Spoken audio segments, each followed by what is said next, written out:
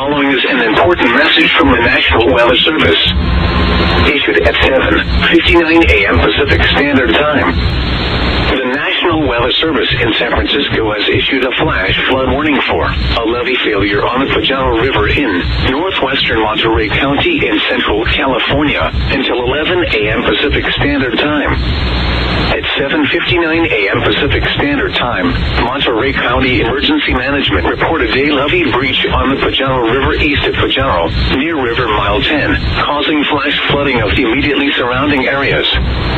Hazard, life-threatening flash flooding from a levee failure. Source, Monterey County Emergency Management. Impact, life-threatening flash flooding of areas near the levee break.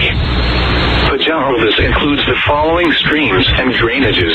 Salsipuedes Creek, Elkhorn Slough, Coward Creek, and Pajaro River. If you are in low-lying areas along the, you should move to higher ground immediately. Turn around. Don't drown when encountering flooded roads. Most of flood deaths occur in vehicles.